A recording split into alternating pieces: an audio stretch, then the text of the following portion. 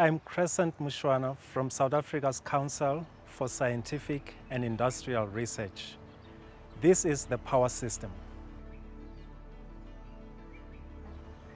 In this lesson, we will learn how power systems operate, how power companies and their system operators can use renewable energy sources to meet the needs of their customers and what countries can do to guarantee that their renewable energy-based power supplies are available when and where they need them.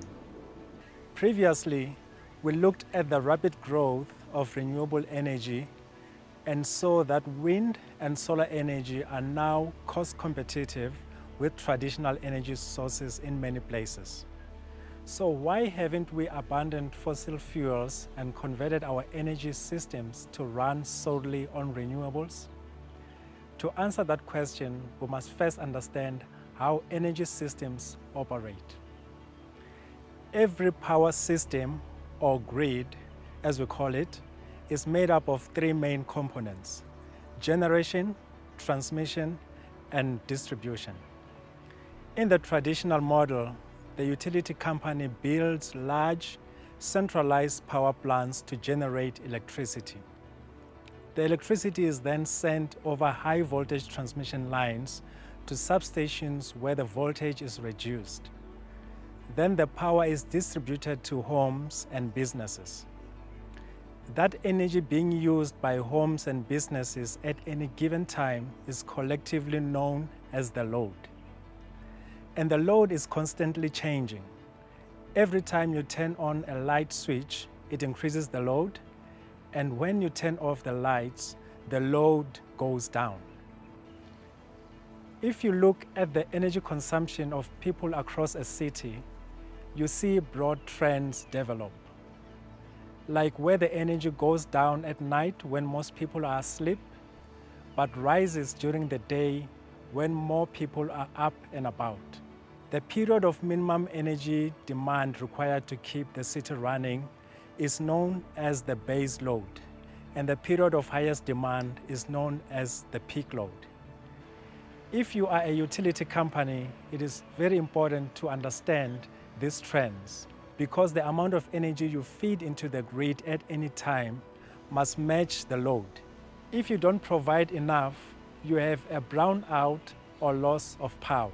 Every utility has system operators whose job it is to monitor the changing load and ensure that they are providing just enough electricity to meet demand. They create complex models to help them forecast future demand and ensure they have generation capacity ready to dispatch as demand rises. They need to know that they have a steady reliable energy source to cover the base load. That minimum amount of energy that's needed 24 hours a day. And generators, they can dispatch on demand to meet the peak load. This is how the traditional power system is operated. But if solar panels can only generate electricity when the sun is shining, and wind turbines can only turn when the wind is blowing, how do you guarantee that energy is available when you need it? Renewable energy introduces a new challenge to the system operator's work. By their very nature, renewables are variable sources of energy. So the system operator is now juggling variable supply and variable demand. How do you incorporate renewables into the system without upsetting the balance? There are a few tools available that help. First, let's look at tools to manage the supply side of the energy equation. The most basic tool for anticipating the supply of renewable energy at any given time is the weather report. As weather forecasting improves, system operators are better able to predict when they can rely on solar panels and wind turbines. Weather forecasting models are used as input into forecasting models for wind and solar supply. If weather conditions look unfavorable for renewables, and the renewables forecasting models show that the supply will be low, the system operator can turn on backup generators such as gas turbines, which can be turned on and off very quickly. The second way to alleviate the problem of local fluctuation in energy production is to have generation resources distributed over a large geographic area. If the system operator is dependent on solar panels in a single location, a passing cloud could knock out his energy supply.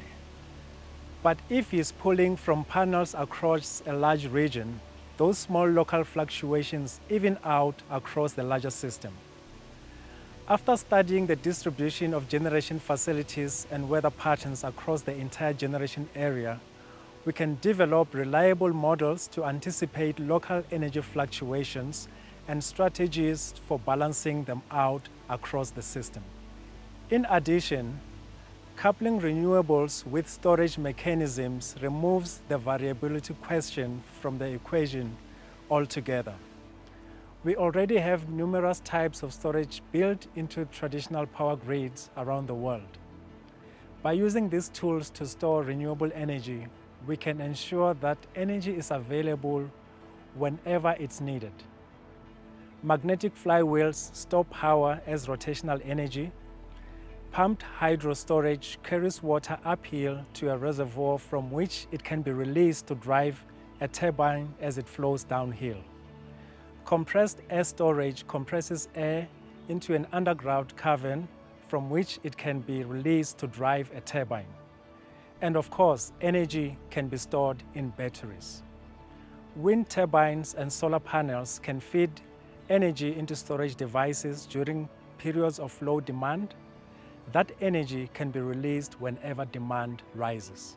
On the demand side of the energy equation, we are now developing digital tools that will allow the system operator to monitor and manage energy usage at the point of consumption. This is called smart grid technology.